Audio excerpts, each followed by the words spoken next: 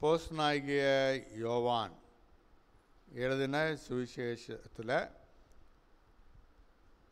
விசுவாசிகளுக்கும் ஆண்டவருக்கும் உள்ள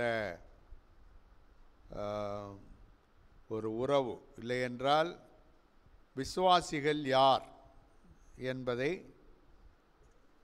சற்று நேரம் நாம் தியானிக்க போகிறோம். யோவான் எழுதின சுவிசேஷத்திலிருந்து. நமக்கு தெரியும் சுவிசேஷங்கள் மத்தேயு மார்க்கு லூக்கா மூன்றும் அதிகமாக சொல்லப்பட்டிருக்கிறது. என்ன அவர் என்ன செய்தார்? இல்லை என்றால் என்ன நடப்பித்தார்? மற்றும் பேசினார். அவர் கற்றுக் கொடுத்தது ப்ளஸ் என்ன செய்தார்? அதுதான் கூடுதலாக முதல் மூன்று சுவிசேஷங்களில் சொல்லப்பட்டுகிறது நாலாவது சுவிசேஷத்தில் அங்கே சொல்லப்பட்டிருக்கிறது முழுவதும் வேத வசனம்தான். ஒன்று ரெண்டு அற்புதங்கள் மற்ற காரியங்கள் இருக்குது என்றாலும் கூடுதல் எதுதான்? வசனம்தான். ஓமைகள் ஓமானங்கள் செய்திகள் ஆண்டருடைய வார்த்தைகள் எல்லாம் அதில் சொல்லப்பட்டிருக்கிறது. ஏன் அப்படின்னா அது எழுதப்பட்டது விசுவாசிகளுக்கென்று எழுதப்பட்டது. யாருக்கென்று எழுதப்பட்டது? விசுவாசிகளுக்கென்று எழுதப்பட்டது. மத்திய எழுதின சுவிசேஷம் யூதர்களுக்கென்று எழுதப்பட்டது. அதனால தான் மத்திய ரெண்டாம் அதிகாரத்தில் சொல்லப்பட்டிருக்கிறது யூதரின் ராஜாவாக பிறந்திருக்கிறவர் எங்கே? அப்போது யூதர்களுக்கு எழுதப்பட்டது. அது மாத்திரமல்ல நீங்கள் அந்த அட்டவணையை பார்த்தீங்கன்னா பிறப்பின் அட்டவணையை பார்த்தீங்கன்னா ஆப்ரஹாமிலிருந்து இருந்து மத்திய எழுத ஆரம்பிக்கிறார். ஏன்னு கேட்டால் இஸ்ரேவேல் ஜனத்துக்கு ஆப்ரஹாம் அவர்களுடைய பிதா. அவங்களுக்கு முக்கியமான இடம் இருக்குது. அதனால் ஆப்ரஹாமிலிருந்து ஆரம்பிக்கிறார். மார்க் எழுதின சுவிசேஷம் ரோமர்களுக்கென்று எழுதப்பட்டது. அது அந்த நாட்டில் உள்ள பிரஜைகள் ரோமர்கள். அவங்க வந்து இந்த பாரம்பரியம் மற்றும் பிறப்புகள் அதெல்லாம் பற்றி கவலைப்படுறதில்ல. அதனால் அதில் வந்து எந்த அட்டவணையும் கொடுக்கப்படலை. லூக்கா எழுதின சுவிசேஷத்தில் டாக்டர் லூக்கு எழுதும்போது அங்கே என்ன சொல்கிறாரு அப்படின்னா இயேசுவை பூரண மனுஷனாக எழுதுகிறார். மார்க்கில் அவர் ஒரு சேவகனாக அங்கே பார்க்குறோம். மனுஷகுமாரன் வேலை கொல்லும்படியாக வராமல் வேலை செய்யும்படியாக வந்தார். என்று சொல்லப்பட்டது. அப்போ செய்கிறவராக செயல்படுகிறவராக ஒரு அடிமையாக வேலைக்காரனாக அங்கே சித்தரிக்கப்படுகிறார். லூக்கா எழுதின சுவிசேஷத்தில் கிரேக்கர்களுக்கென்று அது எழுதப்பட்டது.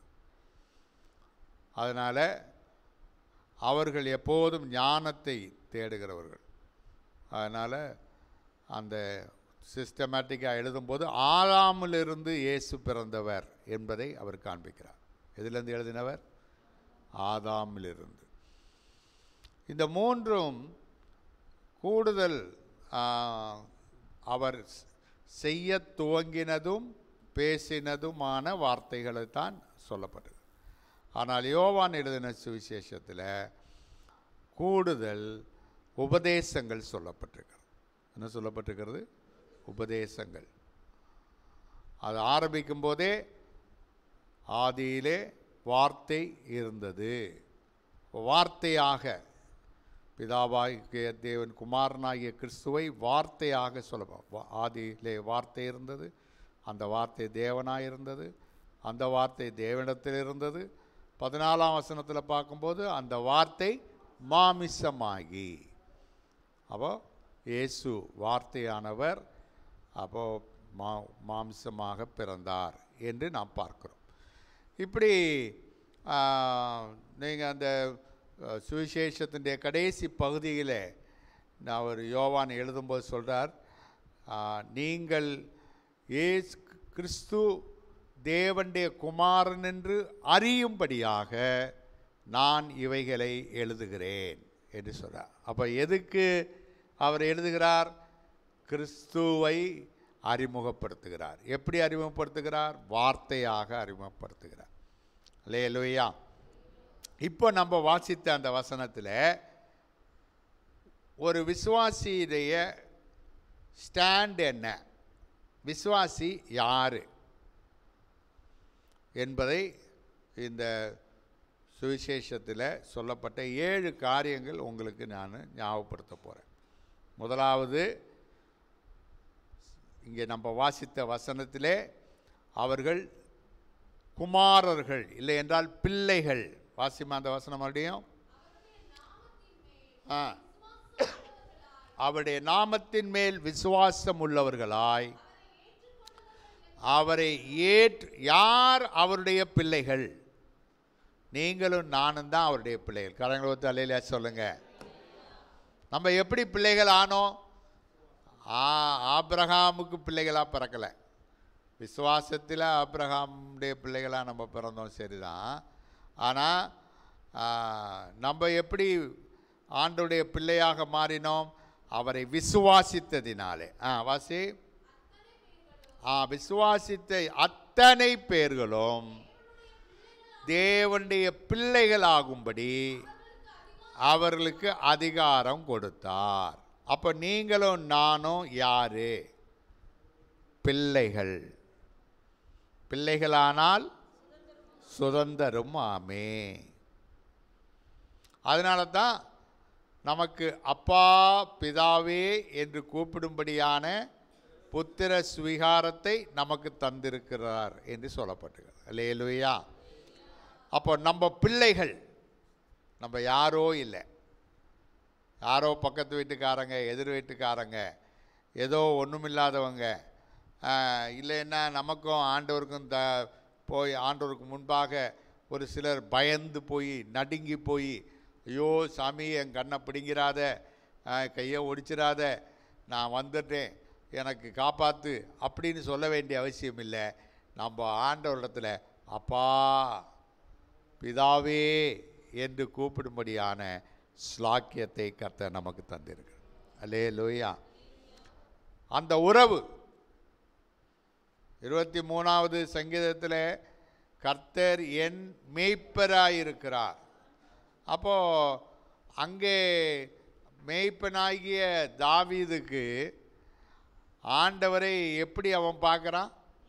மேய்ப்பனாக நல்ல மேய்ப்பனாக. அவர் என்னை புல்லுள்ள இடங்களில் மேய்த்து அமர்ந்த தண்ணீர் லண்டையிலே கொண்டு போய். அப்போ இங்கே அங்கே சொல்லப்பட்ட எல்லாம் ஒரு மேய்ப்பன் தன் ஆடுக்காக செய்கிற அப்போ மேய்ப்பனுக்கும் ஆடுக்கும் இருக்கிற ஒரு என் மேய்ப்பன். கத்த என் மேய்ப்பர். அந்த எண்ன்றதை கொஞ்சம் கூட அம்ஃபசைஸ் பண்ணணும். என்கிட்ட அதான் உறவு. லேலுயா நம்ம கூட்டமாக கூடிட்டு இருக்கும்போது இந்த பிள்ளைங்கள்லாம் சின்ன பிள்ளைங்கள்லாம் விளாண்டுக்கிட்டே இருப்பாங்க. அப்போது ரெண்டு மூணு அப்பா அம்மார்கள் இருப்பாங்க பிள்ளைகள் இருப்பாங்க. அந்த அதில் ஒருத்தன் எங்கிட்ட ஏதாவது பேச்சுவார்த்தை வந்திருக்கும்.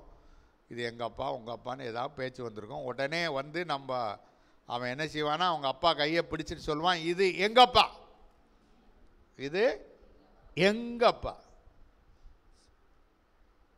எங்கோ அப்பா இல்லை. எங்கப்பா? அதே மாதிரி தான் ஒரு ஒரு பிள்ளை ஒரு ஒரு தகப்பனுக்கு பிள்ளை இது ஏன் பிள்ளை? அப்படின்னு தகப்பன் சொல்கிற மாதிரி பிள்ளைகள் பிள்ளைகள் கர்த்தருடைய சுதந்திரத்தை பெற்றுக்கொள்கிறவர்கள் அப்போது அப்போது ஆண்டவர் யார்? பிதா. அவரை அப்பா பிதாவேன்னு கூப்பிடுகிறோம். நாம் யார்? நாம் பிள்ளைகள் சன்ஸ் ஆங்கிலத்தில் சன்ஸ் என்று சொல்லப்படுற சன்ஸுக்கு வந்து அந்த காலத்தில் ஆசீர்வாதங்கள் நிறையா இருந்துச்சு.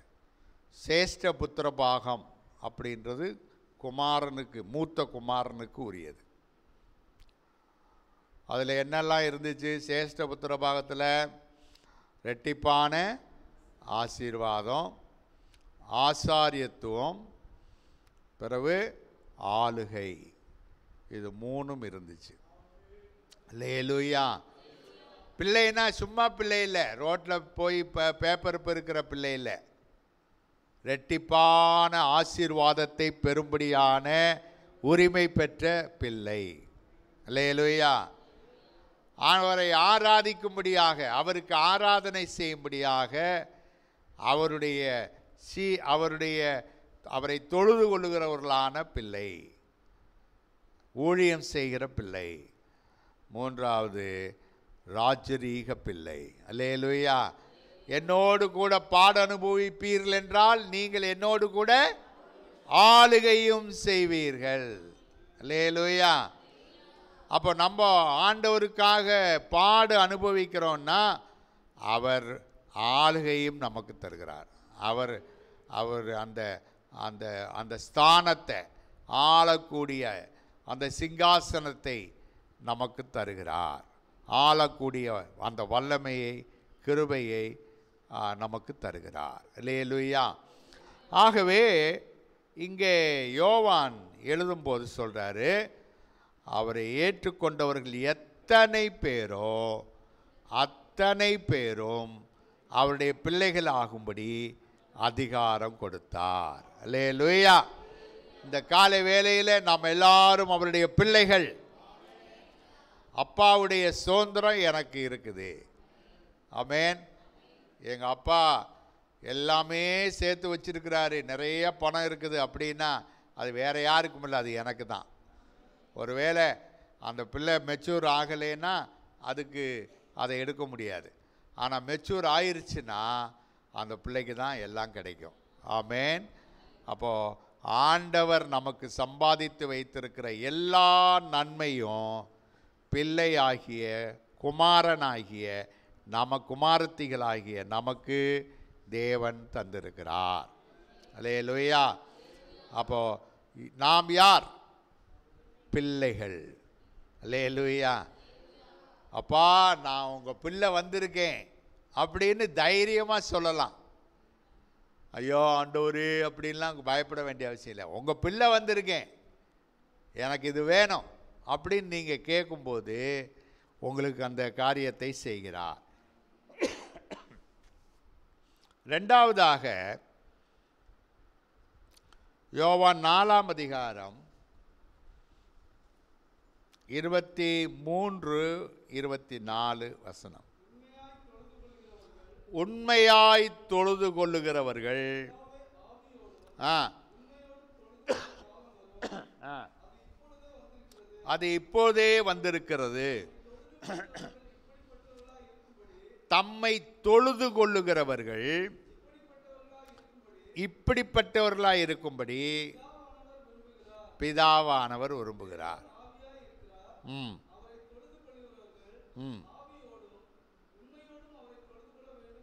போதும். அப்போ ரெண்டாவது நம்ம யாரு? தொழுது கொள்ளுகிறவர்கள். நம்ம யாரு? தொழுது கொள்ளுகிறவர்கள். ஆராதிக்கிறவர்கள். அல்லேலூயா.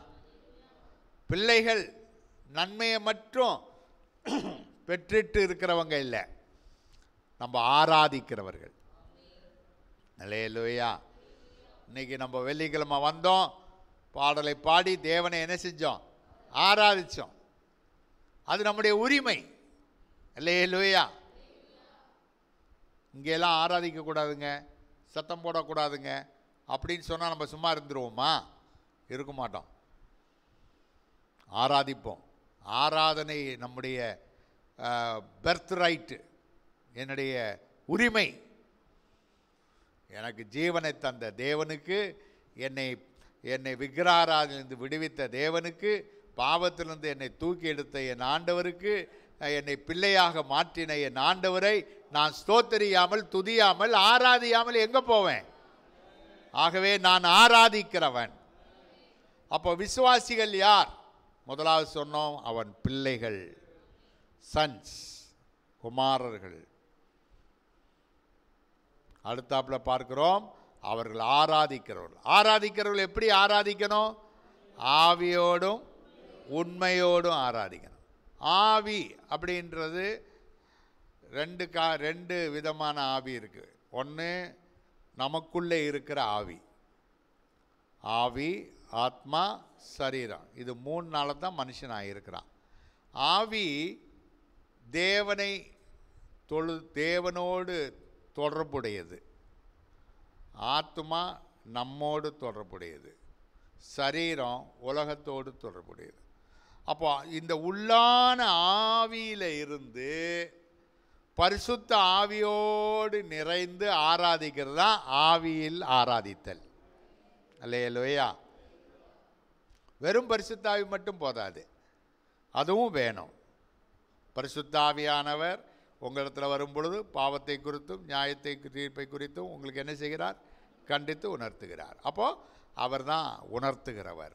அவர் தான் பேசுகிறவர் பரிசுத்த ஆவியானவர் உங்களுக்குள்ளே இருக்கிறதுபடினாலே நீங்கள் என்ன பதில் சொல்ல வேண்டும் என்று கவலைப்பட வேண்டியது அந்த நேரத்தில் அவைகள் உங்களுக்கு தருவார். அப்போ அவர் உங்களோடு பேசுகிறார். வார்த்தையை தருகிறார். வசனத்தை தருகிறார்.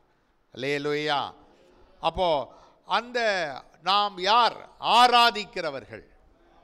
ஆவியோடு ஆராதிக்கிறோம். நல்ல பரங் கரங்களை தட்டி ஆவியில் நிறைஞ்சு உள்ளான மனுஷன்.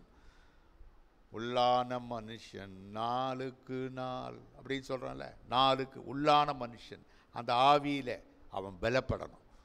ஆதாம் பாவம் செய்த போது ஆவியிலே அவன் செத்து போயிட்டான். அக்கிரமத்திலும் பாவத்திலும் மரித்தவர்களாய் இருந்த நம்மை ஆதாமுடைய பாவத்துக்கு உள்ளானவர்களாய் இருந்த நம்மை அவர் தூக்கி எடுத்து ஜீவனை தந்திருக்கிறார். உயிர்த்தெழுதலின் வல்லமையை கர்த்தர் நமக்கு தந்திருக்கிறார். ஆகவே நாம் எப்படி ஆராதிக்கணும்? ஆவியோடு ஆராதிக்கணும். எப்படி ஆராதிக்கணும்? ரெண்டாவது எப்படி ஆராதிக்கணும்? உண்மையோடு. அது ட்ரூத் என்று சொல்லப்பட்டிருக்கிறது. ட்ரூத் என்றதுக்கு வசனம் என்று சொல்லலாம். வசனம். அப்போ வசனத்தின்படி ஆராதிக்கணும். ஒன்று ரெண்டாவது உண்மையாய் ஆராதிக்கணும். எப்படி ஆராதிக்கணும்? உண்மையாக சும்மா அப்படியே வீட்டில் கிச்சனில் வந்துன்னு கேஸை மூட்டினேன்னா சா இல்லைன்னா அதை போகிற பாத்திரத்தை எடுத்து அங்கே வச்சேன்னா கதவை பூட்டினேன்னா சரியா டைம் ஆயிடுச்சே பிள்ளைங்க வருவாங்களே நேரம் ஆயிடுச்சே ஐயா இழுத்துக்கிட்டே இருக்காரே. இப்படியே ஓடிட்டு இருந்துச்சுன்னா என்ன ஆகலை? அப்போ மனி உள்ளான மனுஷன் அங்கே சுற்றுறான் வாய் தான் சும்மா சோத்திரம் சோத்திரம்னு சொல்லுது. அதனால் அப்படி ஆராதிக்காமல் எப்படி ஆராதிக்கணும்? உண்மையா? லேலுயா எந்த மாய்மாலமும் இருக்கக்கூடாது. பாஸ்டர் பார்க்குறாரு நல்லா கைதட்டு அப்படின்னு நம்ம நினைக்கக்கூடாது சிஸ்டர் பார்க்குறாங்க கொஞ்சம் நல்லா சத்தமாக சொல்லு அப்படின்னு நினைக்கக்கூடாது யார் பார்த்தா என்ன பார்க்கல என்ன ஆண்டவர் பார்க்குறார். நான் உண்மையோடு ஆராதிக்கணும். அப்போ ஆவியோடும் உண்மையோடும் ஆராதிக்க வேண்டும். அப்போ நாம் யார்? ஆராதிக்கிறவர்கள். அல்லேலூயா. எங்கும் தொழுது கொள்ளும் காலம் வரும் அப்படின்னு சொன்னது இப்போ நிறைவேறி இருக்குது. அன்னை அன்றைக்கு இருந்தே நிறைவேறிடுச்சு. பெந்தை கோஸ்தே நாள் வந்தபோது சொல்லப்பட்டிருக்கிறது கடைசி நாட்களில் மாம்சமான யாவர் மேலே நாவியை ஊற்றுவேன் என்று சொன்ன அன்றைக்கு தொடங்கின அந்த சபை இன்றைக்கும் தொடர்கிறது. இந்த சபை எது வரைக்கும் இருக்கும்? இயேசு கிறிஸ்து மறுபடியும் வருகிற வரைக்கும் இருக்கும். லேலுயா அவர் வந்து எடுத்துட்டு போயிட்டாருன்னா சபை இந்த உலகத்தில் இருக்காது. தொழுது கொள்கிறவர்கள் இருக்க மாட்டாங்க. அப்போது நம்மை தேவன் எங் ஆங்காங்கே ரட்சித்து சும்மா எருசலேமை பார்த்து தொழுகிறவர்கள் அல்ல. இல்லைன்னா ஏதோ மலையில் அந்த ஸ்ரீ சமாரியா ஸ்ரீ சொன்ன மாதிரி இந்த மலையில் நாங்கள் ஆராதிக்கிறோம் அந்த மலையில் நீங்கள் ஆராதிக்கிறீங்க எது அப்படின்னு கன்ஃபியூஷனில் இல்லை. எங்கும் தொழுது கொள்ளும் காலம் வரும். யாவரும் தொழுது கொள்ளும் காலம் வரும். அதுதான் இன்றைக்கு உங்களுக்கும் எனக்கும் கத்தர் கொடுத்தது. அல்லேலூயா. அப்போது நாம் யார்? தொழுது கொள்ளுகிறவர்கள். ஆமென். நாம் பிள்ளைகள் அது மாத்திரமல்ல நாம் என்ன செய்கிறவர்கள்? தொழுது கொள்ளுகிறவர்கள். மூன்றாவதாக எட்டாம் அதிகாரம் முப்பத்தி ஓராவது வசனம்.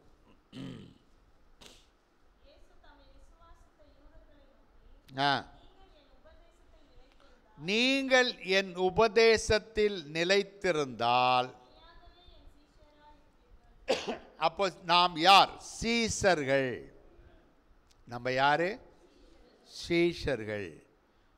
மெய்யாகவே நீங்கள் என் உபதேசத்தில் நிலைத்திருந்தால். அப்ப யார் சீசர்கள் உபதேசத்தில் நிலைத்திருக்கிறவங்க ஆமேன். உபதேசம்னா ஏதோ இது ஐபிசியுடைய உபதேசம். அது ஏஜியுடைய உபதேசம். இது சர்ச் ஆஃப் காடுடைய உபதே உபதேசம். அது சிஎஸ்சி உபதே அப்படிலாம் கிடையாது. நம்ம ஒவ்வொரு வழிமுறைகளை வச்சுருக்கிறோம். ஒவ்வொரு ஸ்தாபனத்தில் நம்ம இருக்கிறோம். அது வேறு விஷயம். ஆனால் இது வந்து இந்த உபதேசம் என்பது ஆண்டவர் நமக்கு கொடுத்த வார்த்தை உபதேசம். அல்லே லோயா இயேசு இந்த உலகத்துக்கு வந்தார் என்பது உபதேசம். நமக்காக நன்மை செய்கிறவராய் சுற்றித் திரிந்தார் என்பது உபதேசம். நமக்காக கல்வாரி சிலுவையில் மறித்தார் என்பது உபதேசம். மூன்றாம் நாள் உயிர் தெழுந்தார் என்பது உபதேசம். லேலுயா நாற்பது நாள் நாற்பதாம் நாள் ம- பரமேறி போனார் என்பது உபதேசம். பரிசுத்தாவியானவர் ஊற்றப்பட்டார் பெந்தைக்கோஸ்தே நாள் என்பது உபதேசம். உபதேசம் என்பது ஏதோ ஒரு யாரோ எழுதி வச்சதல்ல. வேதத்தில் உள்ளதுதான் உபதேசம். அதை சேர்த்து அவங்க எழுதியிருப்பாங்க. சிலதை விட்டுருப்பாங்க சிலதை கூட்டியிருப்பாங்க. அவ்வளோதான் ஆனால் உபதேசம் என்பது தேவனுடைய வார்த்தை. அல்லே லூயா அப்போ யார் சீசர்கள் பொதுவாக சீசன்னா யார்? குருவை பின்பற்றுகிறவன் தான் சீஷன். லேலுயா நீங்கள் புறப்பட்டு போய் சகல ஜாதிகளுக்கும் சுவிசேஷத்தை அறிவித்து அவர்களை சீஷராக்கி பிதா குமாரன் பரிசுத்தாவின் நாமத்தினாலே என்ன கொடுங்கள். அப்போ ஞானஸ்தானம் கொடுக்கறதுக்கு முன்னாலவே யாராக அவன் மாற வேண்டும்? சீஷனாக மாற வேண்டும். அல்லேலூயா. சீஷன் என்றால் யார்? குருவை பின்பற்றுகிறவன் தான் சீஷன். அந்த காலத்தில் ஒரு பையன் இப்போல்லாம் ஸ்கூலில் கொண்டு போய் சேர்க்குறோம் அங்கெல்லாம் அப்போல்லாம் ஸ்கூல் இல்லை. எல்லாரும் படிக்க முடியாது. குரு இருப்பார். ஒரு சில ஊருகளில் அந்த குருக்கள் அங்கே இருப்பாங்க. அந்த குருக்கள்கிட்ட போய் கேட்டு என் பையனை படிக்க வைக்கணும். கொஞ்சம் எழுத்தெல்லாம் சொல்லி கொடுக்கணும். கொஞ்சம் வில்வித்தையெல்லாம் சொல்லி கொடுக்கணும். கொஞ்சம் வேட்டையாடுறதுக்கு சொல்லி கொடுக்கணும். அதை செய்கிறதுக்கு சொல்லி கொடுக்கணும். அப்படின்னு சொல்லி அங்கே போய் கொஞ்சம் தட்சணையை வச்சுட்டு அங்கே அந்த பையனை கொண்டு போய் விட்டுருவாங்க. காலையில் எட்டு மணிக்கு வந்து சாயந்தரம் மூணு மணிக்கு போகிறதெல்லாம் கிடையாது. போனால் அங்கேயே தான் அந்த குருவோடு கூட அந்த குருவுடைய வீட்டிலே அவன் இருப்பான். அந்த வீட்டில் ஒரு நபராக அவன் இருப்பான். அங்கே சாப்பிடுவான் குரு போகிற இடத்துக்கெல்லாம் போவான் குரு செய்கிற வேலையெல்லாம் செய்வான் அவர் சொல்கிற வேலையை செய்வான். அவர் பட் படிக்கணும்னு சொல்கிற நேரத்தில் படிப்பான். எல்லாம் அவ குருவை பின்பற்றுகிறவன் தான் சீஷன். அப்போ நாம் சீஷர்கள் என்றால் இயேசுவை பின்பற்றுகிறவர்களாம் மாறணும். ஆமேன். சீஷனாக மாறாமல் ஞானஸ்தானம் பெறக்கூடாது. ஆமேன். கல்யாணம் முடிக்கணும். பொண்ணு பார்த்து வந்துட்டாங்க. பாஸ்டர் சீக்கிரமாக என் பொண்ணுக்கு ஞானஸ்தானம் கொடுங்க. அடுத்த மாதம் கல்யாணம் வச்சுருக்கோம். இப்பயே கொடுங்க. ரட்சிக்கப்பட்டிருக்க அதெல்லாம் பிறகு பார்த்துக்கலாம் பாஸ்டர் ஆ? அதெல்லாம் பிறகு பார்த்துக்கலாம். இப்போ கல்யாணம் நடக்கட்டும். நல்ல வரன் வந்திருக்கிறாப்புல. அப்படின்னு சொல்கிறேன்ல அதெல்லாம் அதெல்லாம் தவறான உபதேசம். மனம் திரும்பி பாவ மன்னிப்புக்கென்று அறிக்கை செய்து முழுகி ஞானஸ்தானம் பெற்றவங்க தான் ஞானஸ்தானம் அல்லேலூயா அதுதான் ஆண்டவர் விரும்புகிற ஞானஸ்தானம் ஆமேன் அப்போது நாம் யார் சீஷர்கள் ஆ ஒரு வாசிங்க அந்த வசனம்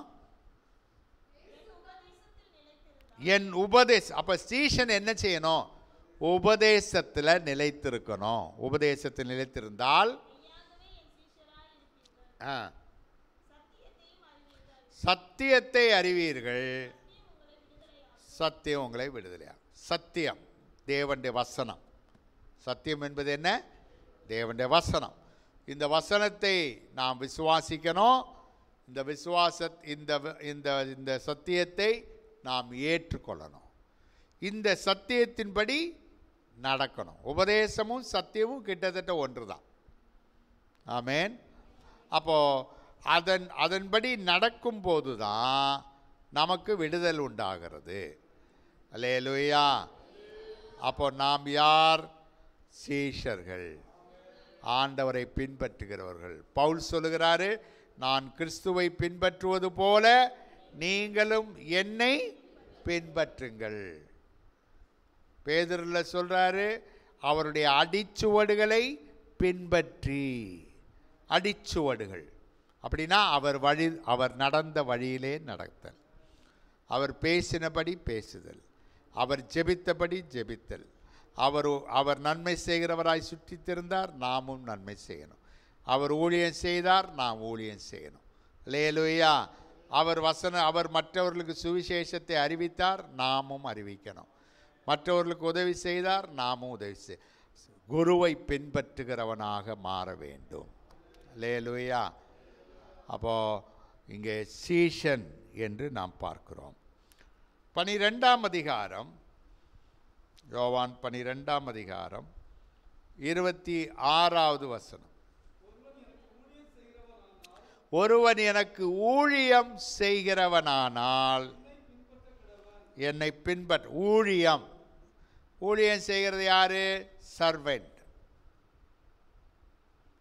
ஊழியம் என்னது வேலைக்காரன். இன்னொரு வார்த்தை வேலைக்காரன்.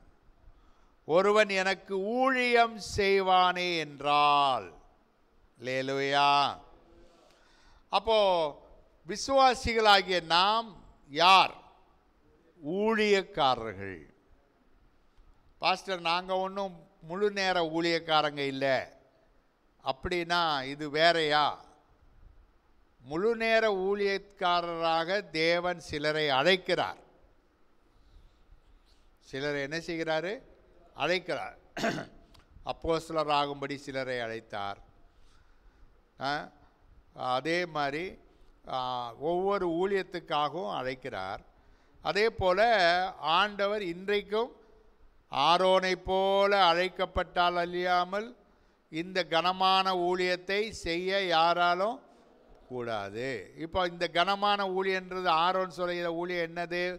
பாஸ்டரல் மினிஸ்ட்ரி பா சபை ஊழியம். முழு சபைக்கும் யார்? ஆரோன் தான் பாஸ்டர் ஆமேன் அவன் தான் அவர்களை ஆராதனையில் நடத்தினார் பலி செலுத்த வச்சார் வார்த்தையை சொன்னார் நியாயம் தீர்த்தார் கவுன்சில் பண்ணார் எல்லாம் பண்ணார். அதான் ஒரு பாஸ்டர் அப்போது ஆரோனைப் போல அழைப்பு ஒரு அழைப்பு இருக்குது ஆனால் புதிய ஏற்பாட்டில் விசுவாசிகளாகிய நம்ம எல்லாருக்கும் ஒரே மாதிரி அழைப்பு இருக்குது அல்லே லோயா அந்த முதல் அழைப்பு பெற்றால் தான் ரெண்டாம் மூன்றாம் அழைப்பெல்லாம் பெற முடியும். அல்லே லோயா இந்த முதல் அழைப்பில் நாம் பார்க்குறோம் ஒருவன் எனக்கு ஊழியம் செய்தால். அப்போது நாம் யாராக வேண்டும் என்று ஆண்டவர் விரும்புகிறார்? ஊழியம் செய்கிறவனாக சர்வெண்டாக வேலைக்காரனாக. நாம் வேலைக்காரன். யாரு? நம்ம வேலைக்காரன். இந்த வேலைக்காரனுக்கு நிறைய பேர் இருக்கு. காவல்காரன். எசேக்கியல்ல நம்ம வாசிக்கும்போது நான் உன்னை காவல்காரனாக வைத்தேன். அப்படின்னா இப்போ இந்த சபைக்கு நான் யார்? காவல்காரன். காவல் காக்கிறவன்னா உத்தரவாதி என்று அர்த்தம். காயின்ட்டு ஆண்டவர் கேட்டார் காயினே எங்கே ஆபேல்? அப்படின்னு கேட்டார். அப்போ அவன் என்ன கேட்டான்? அவன் என்ன சொன்னான்? நான் என்ன அவனுக்கு? காவலாளியோ அப்படின்னா உண்மையிலே அவன்தான் காவலாளி. தம்பியை பார்க்குற பொறுப்பு அவனுக்கு இருக்குது. ஆனால் அவன் புறக்கணிச்சிட்டான். அந்த தம்பி மேலேயே குற பொறாமல் கொண்டு அவன் கொன்றுட்டான். அப்போது ஆண்டவர் நம்மை இந்த சபையில் வச்சிருக்கிறாருன்னா காவல்காரனாக வச்சிருக்கிறார். இல்லையா பக்கத்தில் இருக்கிற அந்த சகோதரி பக்கத்தில் இருக்கிற அந்த சகோதரனை நீங்கள் நினச்சி காவல் காக்க வேண்டியது உங்களுடைய கடமை. அவங்களுக்கு நல்ல ஆலோசனை சொல்ல வேண்டியது உங்களுடைய கடமை. ஒருவருக்கொருவர் புத்தி சொல்ல கடவோம் அப்படின்னு இருக்குது என்ன சொல்ல கடவோம்? புத்தி சொல்கிறதுனா என்ன? ஏ நேரம் உட்கார் பைபிளை மூடு. பேக்கில் என்ன வச்சுருக்க? வாயை மூடு. அப்படின்னு அது அந்த புத்தி இல்லை. அவங்க வழி விலகும்போது அவங்களுக்காக ஜோம் பண்ணி சிஸ்டர் இப்படி கொஞ்சம் வித்தியாசமாக போகிற மாதிரி தெரியுது. நான் ஆண்டவர் எனக்கு உணர்த்தினார். கொஞ்சம் ஜோம் பண்ணிக்கோங்க. நான் உங்களுக்காக ஜோம் பண்ணுறேன் அப்படின்னு ஆண்டவரிடத்துலேயும் ஜோம் பண்ணோம். ஆண்டவரே அந்த சௌரியை காப்பாற்றுங்க அது வித்தியாசமாக போகிறாங்க அந்த பிரதர் வித்தியாசமாக இருக்கிறாங்க. நீங்கள் ஜோ அப்படின்னு சொல்லி அவங்களுக்காக பரிந்து பேசுகிற ஜெபம் செய்கிறது தான் நம்முடைய வேலை. அல்லையா லூயா நம்ம எல்லாரும் ஆத்துமாதாயம் செய்யணும். அது நம்முடைய வேலை. சபையில் நாம் எல்லாரும் ஒத்துழைக்கணும். ஆமேன்.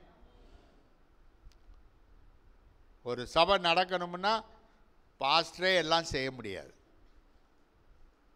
சின்ன சபையாக இருந்தபோது நான் வேறு இடங்களில் இருந்தபோது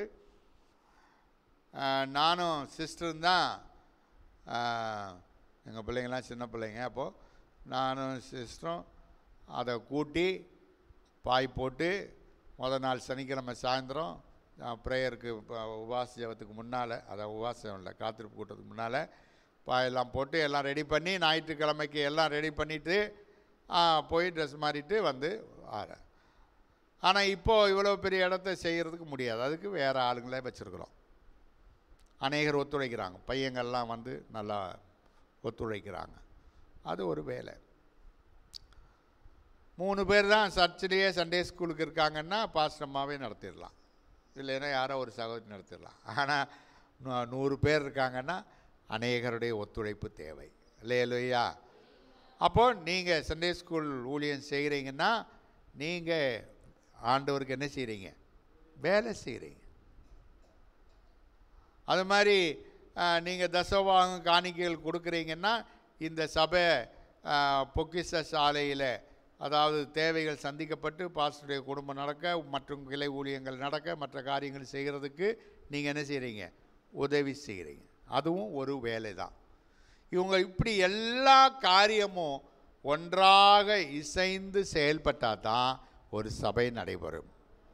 ஆமேன். அப்போ தேவன் நம்மை யாராக அழைத்திருக்கிறார்? ஊழியம் செய்ய அழைத்திருக்கிறார்.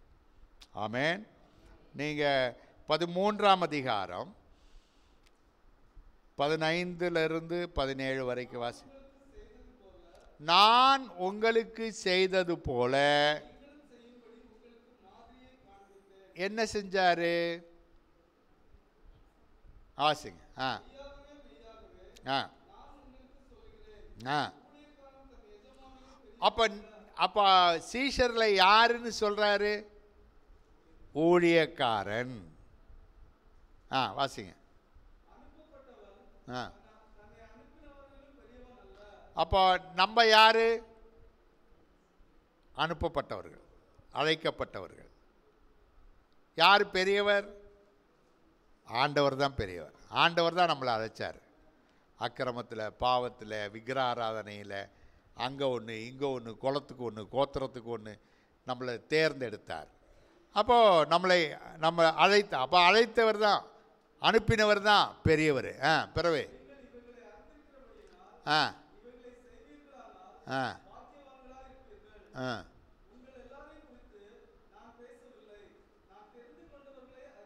ஆ.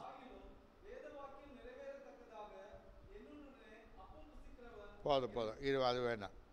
இங்கே நம்ம பார்க்க பதினஞ்சு வாசிங்க.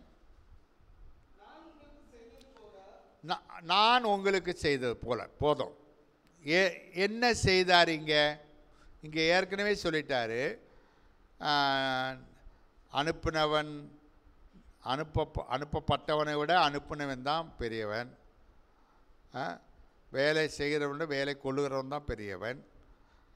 அப்போ நீங்கள் என்னை எஜமானன் என்றும் போதகர் என்றும் சொல்லுகிறீர்கள். அப்படி அந்த வசனம் மாசி.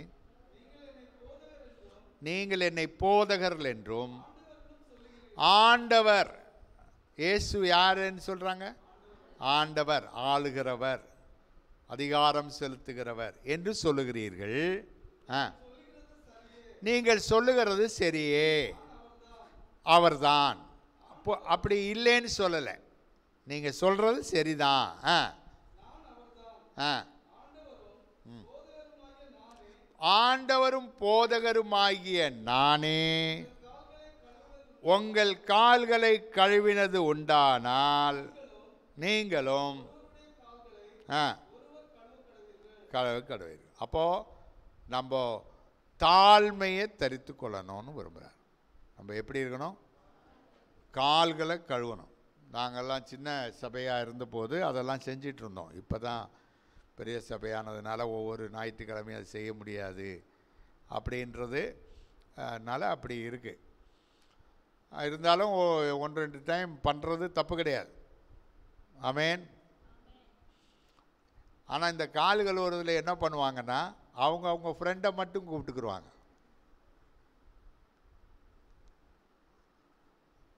அப்படி கூப்பிடக்கூடாது. அது வந்து ஒழுங்கில்லை. நம்ம யார் கூட சண்டையை போட்டுட்ருக்குறோமோ அவங்க போய் காலை பிடிச்சு ஐயா மன்னிச்சிருங்க அம்மா மன்னிச்சிருங்க அக்கா மன்னிச்சிருங்க என்று சொல்லி காலை கழுவணும். அதான் உண்மையான கால் கழுவுது இல்லையா புருஷனும் பொண்டாட்டியும் சண்டை போட்டால் புருஷன் போய் காலை பிடிச்சி மன்னிச்சிருமா அப்படின்னு சொல்லி காலை இல்லைன்னா மனைவி போய் ஐயா நான் உங்களை தப்பாக பேசிட்டேன். கணவனாரே ஏ உங்கள் காலை நான் கழுவுறேன். என்னை மன்னிச்சிருங்க. அதுதான் உண்மையான மனம் திரும்புதல். அது வருகிற இப்போ மன்னிக்கவே மாட்டேன்றாங்களே. ஏய் நான் உன்னை மன்னிக்கவே மாட்டேன். அவள் விசுவாசியே கிடையாது. மன்னிக்காத விசுவாசியா? என்கிட்ட ஒரு ஆள் சொன்னாங்க நீங்கள் என்கிட்ட மன்னிப்பு கேட்கணும். சரி மன்னிப்பு கேட்குறேன். என்னை விட வயசு குறவு ஸ்தானத்தில் குறைவு அனுபவத்தில் குறவு எல்லாம் குறவு தான். மன்னிப்பு கேட்கணும்னு சொன்னாங்க. சரி நான் கேட்குறேன். கேட்டேன். ஆனால் இது வரைக்கும் பேசவே இல்லை. ஆனால் அது என்ன மன்னிப்பு? நான் தான் மன்னிப்பு கேட்டேன்ல. அவங்க என்ன செய்யணும்? அடுத்தாப்புலையே. அதை மன்னிச்சிடணும்ல. அப்போ மன்னிக்கலைன்னா அந்த மன்னிப்புக்கு அர்த்தம் என்ன? ஏசு இந்த உலகத்தில் இருக்கும்போது மன்னிப்பை குறித்து பேசினார். ஒருவருக்கு ஒருவர் மன்னிக்கணும் அப்படின்னு. அப்போ மன்னித்தல் இயேசு நமக்கு என்ன எப்படி மன்னித்தார் அவர் உங்களுக்கு மன்னித்தது போல நீங்களும். அப்போ அவர் எப்படி மன்னித்தார்? நம்ம கூட கோவப்பட்டுட்டு பேசாமலா இருக்கார். இப்பயும் நம்ம கூட பேசுகிறாருல்ல உடனே அவர் நம்முடைய பாவத்தையெல்லாம் எங்கே போட்டுட்டாராம்? கடலின் ஆழத்தில் போட்டார். அப்படின்னா தோண்டி கூட எடுக்க முடியாது. தேடி கூட எடுக்க முடியாது. அவன் அப்போது நம்ம சீஷர்களாக இருக்கிறோம்னா இயேசுவை கம்ப்ளீட்டாக பின்பற்றணும். வேலைக்காரன் என்றால் அந்த வேலையை நாம் பொறுப்பாக செய்யணும். இல்லையா இன்னைக்கெல்லாம் சில இன்னைக்கெல்லாம் அந்த இந்த டிவியில் வர்ற ஊழியக்காரங்களெல்லாம் பார்த்தா வேலைக்காரங்க மாதிரியா தெரியுது. அவங்க என்னமோ உலகத்தையே ஆள பிறந்தவங்க மாதிரி பேசுகிறான் அவன் ட்ரெஸ்ஸும் அவனும் ஆ, பேச்சும்.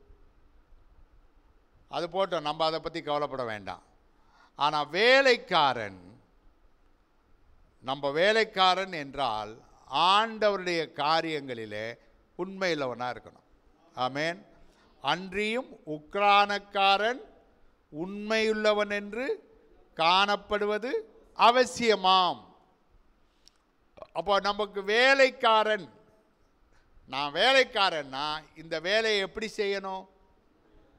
எப்படி செய்யணும்? உண்மையாக செய்யணும்.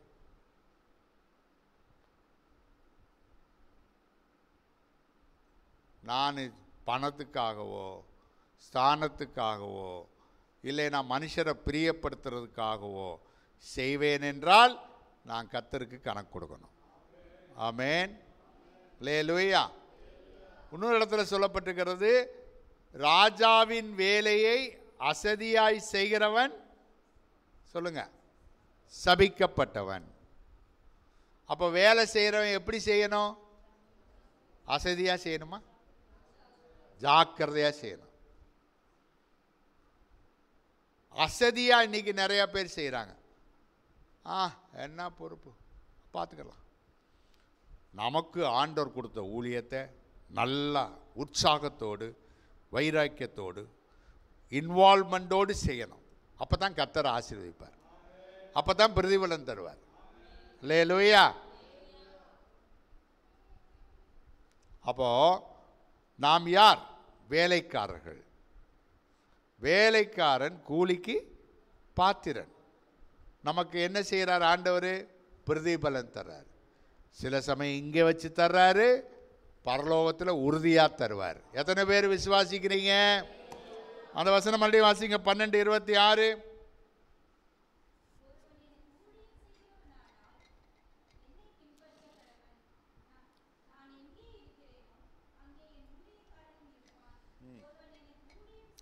ஒருவன் எனக்கு ஊழியம் செய்தால். ஆமேன். அல்லேலூயா. ஆண்டவருக்கு நம்ம ஊழியம் செஞ்சா அவர் என்ன செய்வார்? நம்மை கனம் பண்ணுவார். அல்லேலூயா. பாஸ்டர் கனம் பண்ணுறாரா இல்லைன்னா இங்கே உள்ள விசுவாசிகள் உங்களை கனம் பண்ணுறாங்களா நான் இவ்வளோ கஷ்டப்படுறேன் சண்டே ஸ்கூலில் இவ்வளோ கஷ்டப்படுறேன் யூத்தில் இவ்வளோ கஷ்டப்படுறேன் சபை விஷயங்களில் ஓடி ஓடி நான் செஞ்சிட்ருக்கிறேன் அது செஞ்சிட்ருக்கேன் இது செஞ்சிட்ருக்கிறேன். பாஸ்ட்ரு கண்டுக்கிறவே மாட்டேன்றாரு அப்படின்னு நீங்கள் நினைக்கலாம். ஆனால் ஒன்று மறக்கக்கூடாது ஒரு பிரதிபலன் உங்களுக்கு உண்டு. அல்லேலூயா. ஒருவன் எனக்கு ஊழியம் செய்தால் பிதாவானவர் கனப்படுத்துவார். எப்படி கனப்படுத்துவார்? நல்லது. உண்மையும் உத்தமமான ஊழியக்காரனே. கொஞ்சத்தில் உண்மையுள்ளவனாயிருந்தாய் அதிகத்திலே உன்னை நான் அதிகாரியாக்குவேன். பத்து பட்டணத்துக்கு நீ அதிகாரியாயிரு என்று சொல்லுகிற ஒரு நாள் சீக்கிரம் வருகிறது. ஹல்லே ஹல்லேலூயா. அதனால் நல்லா எதை செய்தாலும் நல்லா செய்யுங்க. ஆமேன். நல்லா செய்யுங்க. உங்களால் முடிஞ்சதை நல்லா செய்யுங்க. சண்டே ஸ்கூல் எடுக்கிறீங்களா? நல்லா செய்யுங்க. அவருக்கு அவர் கணக்கு கொடுப்பார். நான் கணக்கு கொடுக்கணும் அவருக்கு. அப்படின்ற சிந்தையோடு செய். யூத் செய்கிறீங்களா மற்றது செய்கிறீங்களா தியாகமாக செய்கிறீங்களா ஒருவேளை சின்ன வேலையாக நீங்கள் செய்கிறது? இருந்தாலும் பரவாயில்லை. ஒருவேளை ஒவ்வொரு வீடாக போய் ட்ராக்ஸ் கொடுக்குறீங்களா? ஆத்மாதாயம் செய்கிறீங்களா எதை செய்தாலும் நீங்கள் உற்சாகமாக செய்யுங்க. பிரதிபலன் உங்களுக்கு உண்டு. அல்லேலூயா. அடுத்தபடியாக பதினைந்தாம் அதிகாரம் பதினான்காம் வசனம். ஆ. ம். சிநேகிதர்கள்.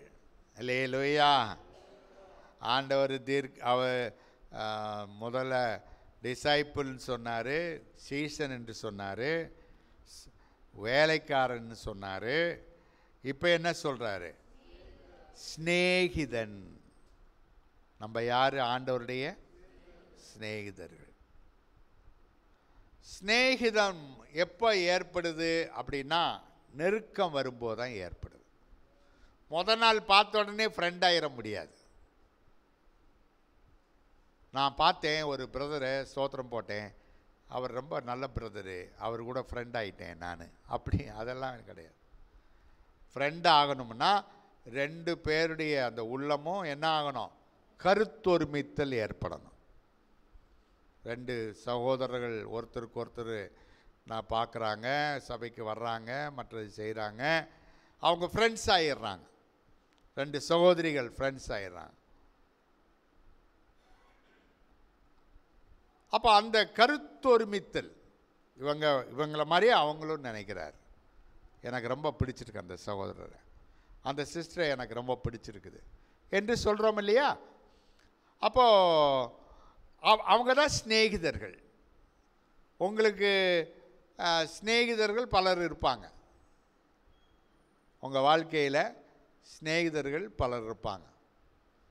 அப்போ அந்த சிநேகிதர்கிட்ட நீங்கள் என்ன செய்வீங்கன்னா உங்கள் ரகசியத்தையெல்லாம் சொல்லுவீங்க. உங்கள் பிரச்சனையெல்லாம் சொல்லுவீங்க. உங்கள் மனசில் இருக்கிறதெல்லாம் மறைக்காமல் சொல்லுவீங்க. அப்படி தானே சொல்ல மாட்டீங்களோ? கண்டவங்ககிட்டலாம் சொல்ல மாட்டான். எங்கே ரொம்ப அன்பு இருக்குதோ அவங்க தான் அதை பகிர்ந்து கொள்வாங்க.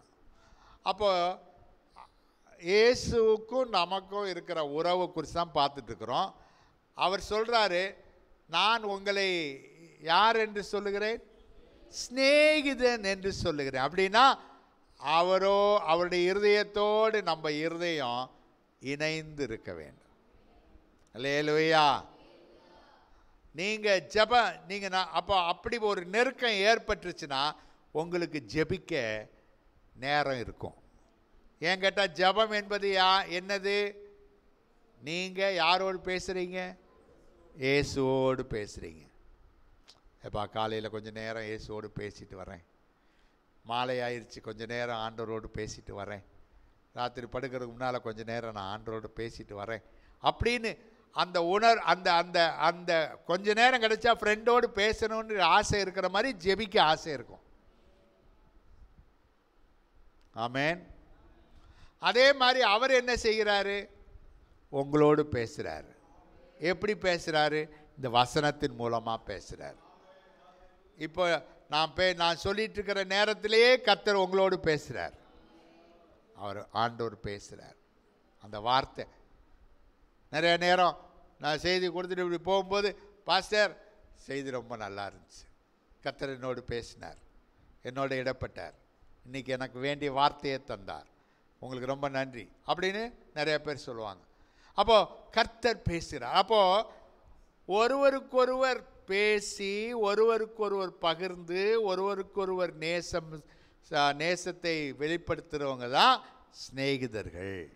அல்லே லோயா உன்னத பாட்டின் புஸ்தகத்தில் நீங்கள் வாசித்தீங்கன்னா நேசரை குறித்து சூலமத்தியாலை குறித்து பார்க்குறோம். சூலமத்தியால் நேசரை என்ன சொல்கிறார் என் நேசரே அப்படின்னு சொல்கிறார் நேசர் என்ன சொல்கிறாரு என் பிரியமே என் உத்தமையே என் சகோதரியே லேலுவையா என் சிநேகிதியே அப்படின்னு சொல்கிறார் என்ன சொல்கிறாரு சிநேகிதியே சிநேகிதி சொல்கிறா வாங்க நம்ம தோட்டத்துக்கு போய் அங்கே நாம் நம்முடைய நேரங்களை செலவழிக்கலாம். நேரம் எப்படி செலவழிக்கிறது? பேசிக்கிட்டே இருக்கிறது. லேலுயா கேட்பாங்க என்னடா பேசிகிட்டு இருக்க அந்த பையன்ட்ட எவ்வளோ நேரமா? என்னடி பேசிகிட்டு இருக்க இந்த பொண்ணுகிட்ட இவ்வளோ நேரமா? அவங்க பகிர்ந்து கொள்கிறாங்க லேலுயா லேலுயா அதே போல தான் நம்ம வாழ்க்கையில் நம்ம ஆண்டவர் நம்முடைய நேசர் நம்முடைய சிநேகிதர். உங்கள் பிரச்சனையெல்லாம் அவர்கிட்ட சொல்லுங்க. அவர் நல்லா கேட்பார் அவர் உங்களுக்கு ஆறுதலை கொடுப்பார். அவர் உங்களோடு பேசுவார். அல்லேலுயா தேவன் நமக்கு தந்திருக்கிற ஸ்லாக்கியம் அது. எத்தனை பேர் விசுவாசிக்கிறீங்க? அந்த அனுபவத்துக்கு நீங்கள் வரணும். வரலைன்னா நான் சொல்கிறது என்னன்னு புரியாது. அவர் நம்முடைய சிநேகிதர். இல்லையா இதெல்லாம் ஏசிட்ட சொல்லலாமா அப்படின்னு நினைக்க வேண்டாம். தைரியமாக சொல்லுங்கள் அவருக்கு அவருக்கு நீங்கள் ஒன்றும் மறைக்க வேண்டிய அவசியமே இல்லை. எல்லாம் அவருக்கு தெரியும். ஆமேன். அவர் நம்முடைய நண்பன் சிநேகிதன். இருபதாம் அதிகாரம் யோவான் இருபதாம் அதிகாரம் பதினேழாம் வசனம். ஆ. ம். ஆ. நீ என் சகோதரத்திற்கு போய். போதும். சகோதரர். யார்? சீஷர்களை பார்த்து சொல்றார். இதுவரைக்கும் டிசைபிள்னு சொன்னார் வேலைக்காரன் சொன்னார் நண்பன் என்று சொன்னார். ஆனால் இங்கே புதிய ஒரு வார்த்தை சொல்கிறாரு என்ன அது? சகோதரர். ஆமேன். அவர் நம்முடைய மூத்த சகோதரர். ஆமேன். எத்தனை பேர் விசுவாசிக்கிறீங்க? நம்முடைய மூத்த சகோதரர். அவர் நம்மை சகோதரர்கள் என்று சொல்வதற்கு அவர் என்ன செய்யவில்லை? வெட்கப்படவில்லை. என்னையா நான் ஆண்டவருடைய குமாரன் இந்த பயலை போய் பார்த்துட்டு இவனை போய் நான் சகோதரன் சொன்னா எப்படி?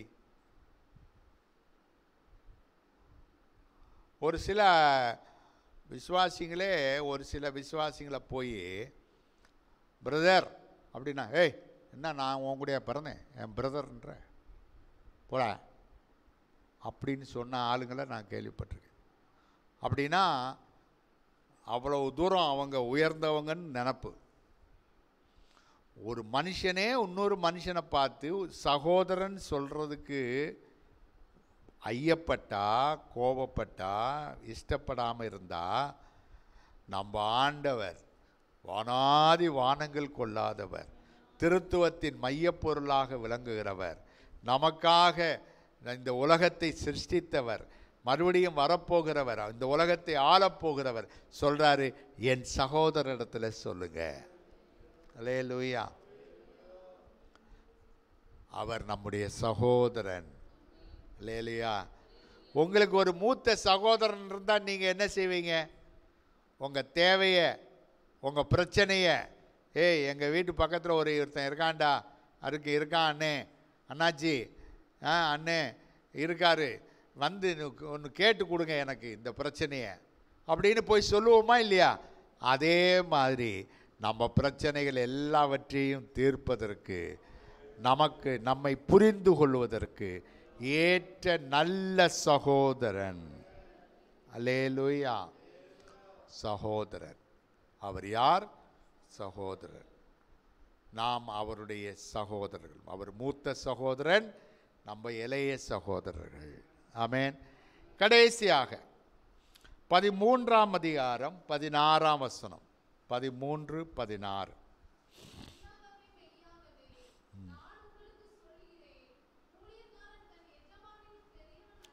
போதும். இந்த இடத்துல ஊழியக்காரன் அப்படின்றது ஸ்லேவ் என்று சொல்லப்பட்டது. அடிமை. என்னது? அடிமை. ஊழியக்காரன். பதினஞ்சு இருபது. ஊழியக்காரன். போ- போதும். ஊழியக்காரன். இந்த இடத்துல ஊழியக்காரன் என்கிற வார்த்தை ஸ்லேவ் என்ற வார்த்தை சொல்லப்பட்டுகிறது அடிமை. புதிய ஏற்பாட்டு காலத்தில் அந்த காலகட்டத்தில் இப்பையும் நிறைய இடத்துல இருக்குது. நிறைய அடிமைகள் ரோம சாம்ராஜ்யத்தில் நிறைய அடிமைகள் இருந்தாங்க. அடிமைகளை வாங்கலாம் விற்கலாம்.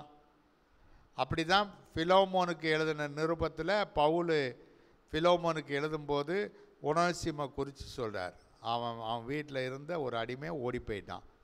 ஜெயிலில் போய் மாட்டிக்கிட்டான். இவர் போய் ரட்சிப்புகளை நடத்தினார்.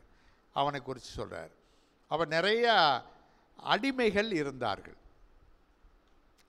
அந்த அடிமைகள் கான்செப்டில் தான் இங்கே ஊழியக்காரன் என்று சொல்லுகிறார். என்னது? ஊழியக்காரன். அப்போது நாம் யார்? ஊழியக்காரர்கள். ஆண்டவராகிய இயேசு கிறிஸ்துடைய சகோதரர்கள் யாக்கோப்பு யூதா அவங்க நிருபம் எழுதும்போது அவங்க உலகத்தில் இருக்கிற வரைக்கும் இயேசு கிறிஸ்து ஜீவித்திருக்கிற வரைக்கும் அவரை ஏற்றுக்கிறல. ஆனால் அவர் மறித்து உயிர்த்தெழுந்த பின்பு அவரை ஏற்றுக்கொண்டார்கள். பின்பு அவர்கள் அப்போஸ்தலர்களாக மாறினார்கள். அவர்கள் அந்த நிருபத்தை எழுதினார்கள். அந்த நிருபத்தை எழுதும்போது அவங்க சொல்கிறாங்க ஊழியக்காரனாகிய யூதா. ஊழியக்காரனாகிய யாக்கோப்பு சொந்த சகோதரர்கள் இயேசுவை யாருன்னு சொல்கிறாங்க எஜமானன். நாங்கள் யாரு? ஊழியக்காரர்கள். அப்போ சொந்த சகோதரனே அப்போஸ்தலனே தன்னை ஊழியக்காரன் அடிமை என்று சொல்வான் என்றால் நாம் எவ்வளவு அதிகம்? லேலூயா லேலூயா நாம் யார்? அவருடைய அடிமை. ஆமேன். நம்ம வாழ்க்கையில் ஆண்ட அது எதை காண்பிக்கிறதுனா இன்றைக்கி முதல்ல என்ன பாஸ்டர் பிள்ளைன்னு சொன்னீங்க இப்போ அடிமைன்னு சொல்கிறீங்கன்னு நீங்கள் குழம்ப வேண்டாம். நமக்கு இருக்கிற ஸ்தானம் ஆண்டவருடைய சமூகத்தில் நம்ம வரும்போது ஒரு அடிமையை போல அர்ப்பணிக்கணும். ஆமேன். ஆண்டவரே நான் உம்முடைய அடிமை. நூற்றுக்கு நூறு அப்படியே கீழ்ப்படுகிறேன். அர்ப்பணிக்கிறேன். உம்முடைய சித்தம் என் வாழ்க்கையில் நடக்கும்படியாக என்னை பூரணமாய் சமர்ப்பிக்கிறேன் என்று சொல்லுகிறது தான் அடிமை. அல்லையா என் சித்தம் தான் நடக்கணும். நான் சொல்கிறது தான் இங்கே நடக்கணும். நான் யாருக்கும் கீழ்ப்படிய மாட்டேன். எவனையும் வகை வைக்க மாட்டேன். எவனையும் மதிக்க மாட்டேன். அப்படிப்பட்ட ஆட்டிடியூட் அல்ல ஒரு விசுவாசியுடைய ஆட்டிடியூட் ஒரு விசுவாசி ஆண்டவுடைய சமூகத்தில் ஆண்டவரே இதோ நான் உம்முடைய அடிமை. லேலூயா பழைய ஏற்பாட்டில் புதிய ஏற்பாட்டில் நிறைய இடங்களில் ஆண்டவருக்கு முன்பாக பக்தர்கள் தங்களை அடிமை என்று அர்ப்பணித்தார்கள். நம்ம வாழ்க்கையில் வெளியில் நான் தேவனுடைய பிள்ளை நான் அவருக்கு சுதந்திரவாளி நான் அவரோடு கூட ஆளுகை செய்கிறவன் என்று நாம் சந்தோஷமாக சொன்னாலும் ஆண்ட நமக்குள்ளே அந்த செயல்படுகிற விஷயங்களிலே ஆண்டவரே நான் உம்முடைய அடிமை. ஆமேன். மரியால் இது எப்படி ஆகும் என்று சொன்னபோது பரிசுத்தாவியானவர் உண்மையில் நிழலிடுவார் உன்னிலிருந்து பிறப்பது பரிசுத்தமாயிருக்கும் என்று சொன்னபோது இதோ நான் அடிமை. ஆண்டவர் சித்தம் ஆகட்டும் என்று தன்னை அர்ப்பணித்தது போல நம்ம வாழ்க்கையில் ஒரு அர்ப்பணம் அவசியம். ஆமென். அந்த அர்ப்பணம் இல்லைன்னா நம்ம நம்ம ஆண்டவர் அந்த அந்த நம்ம வாழ்க்கையில் ஆண்டவருக்கு முன்பாக நம்ம ஒரு அடிமையை போல் இருக்கணும். ஆனால் உலகத்துக்கு முன்பாக ஒரு விடுதலை அடைந்த பிள்ளையாக இருக்க வேண்டும். ஊழியனாக இருக்க வேண்டும். கர்த்தர் நம்மை ஆசீர்வதிப்பார் ஜெபிக்கலாம். கர்த்தர் நம்மை அவருடைய பிள்ளையாக மாற்றியிருக்கிறார். நாம் யார்? அவருடைய பிள்ளைகள். அவரை ஆராதிக்கிறவர்கள். அவரை ஆராதிக்கிறவர்கள் ஆவியோடு உண்மையோடு ஆராதி உண்மையோடு ஆராதிக்கிறோமா? ஆவியில் நிறைஞ்சு ஆராதிக்கிறோமா? அப்படிப்பட்ட ஒரு ஆராதனையை நாம் செய்ய வேண்டும். நாம் யார்? சீஷர்கள். இயேசுவை பின்பற்றுகிறவர்கள். கிறிஸ்துவை நான் பின்பற்றுவது போல நீங்களும் என்னை பின்பற்றுங்கள். மற்றவர் அல்ல, நாம் குருவை பின்பற்றுகிற சீஷனைப் போல நாம் பின்பற்ற வேண்டும். நாம் யார்? வேலைக்காரர்கள். ஆண்டவருக்கென்று ஊழியம் செய்கிறவர்கள். ஆண்டவருக்கென்று தியாகம் செய்கிறவர்கள். சபையிலே காரியங்களை நடப்பிக்கிறவர்கள். ஊழியங்களை செய்கிறவர்கள். நாம் நம்முடைய எஜமானன் வருவதற்கு முன்பாக அநேகரை ஆதாயப்படுத்தும்படியான அந்த பெரிய உத்தரவாதத்தை பெற்றவர்கள். அது மாத்திரமல்ல நாம் யார்? நண்பர்கள். ஆண்டவருடைய சிநேகிதன். சிநேகிதனிடத்தில் எல்லா ரகசியத்தையும் சொல்கிறது மாதிரி இயேசு நம்மோடு பேசுகிறார். நமக்கு சொல்லி கொடுக்கிறார். நாம் அவர் நம்மோடு நம்முடைய காரியங்களை அவரோடு பகிர்ந்து கொள்ளுகிறோம். கர்த்தர் நமக்கு அவர் ஒரு சகோதரனாக இருக்கிறார். அல்லேலூயா. அவர் நம்முடைய மூத்த சகோதரன். தைரியமாக கிருபாசனத்தண்டையிலே சேரக்கடவோம் என்று சொன்னது போல. கிருபாசனத்தண்டையிலே சேர்ந்து அவரை ஆராதிக்கிற பிள்ளைகளாய் ஜெபிக்கிற பிள்ளைகளாய் நம்முடைய தேவைகளை சொல்லுகிற பிள்ளைகளாய் மாறும்படியாக கத்தர் உதவி செய்வாராக. நல்ல கரங்களை தட்டி கத்தரை ஸ்தோத்திரம் பண்ணுவோம். ஸ்தோத்திரம் ஸ்தோத்திரம் ஸ்தோத்திரம் ஸ்தோத்திரம் ஸ்தோத்திரம். நல்ல பிதாவே நாங்கள் வந்த நேரம் முதல் நேரம் வரைக்கும் நீர் எங்களோடு கூட இருந்தீங்க. உம்முடைய வார்த்தைகளை தியானிக்க நீர் தந்த கிருபைக்காக ஸ்தோத்திரம். ஆண்டவரே நீர் எவ்வளவு நல்லவர் அப்பா. ஆண்டவரே அக்கிரமத்திலும் பாவத்திலும் மறித்தவர்களாக இருந்த எங்களை தூரமாய் கடந்த எங்களை தேடி உம்முடைய பிள்ளையாக மாற்றினீரே. ஸ்லாக்கியங்களை தந்தீரே. உம்முடைய நண்பனாகும்படியாய் உதவி செய்தீரே. ஆண்டவரே ஸ்தோத்திரம். உம்முடைய ஊழியம் செய்ய எங்களுக்கு பாக்கியம் தந்தீரே எங்களை அழைத்தீரே அப்பா. உம்முடைய கிருபை எவ்வளவு பெரியது. எங்களை சமர்ப்பிக்கிறோம். நாங்கள் உம்முடைய அடிமைகள் ஆண்டவரே. ஆண்டவரே நீர் என்ன செய்ய விரும்புகிறீரோ பூரணமாய் நாங்கள் சமர்ப்பிக்கிறோம். எங்கள் ஆவி ஆத்மா சரீரம் எல்லாம் இயேசுவுக்கே சொந்தமாவதாக. ஆமேன் ஆமேன் ஆமேன். உட்காருவோம். சாட்சிகள் இருந்தால் சொல்லுங்கள்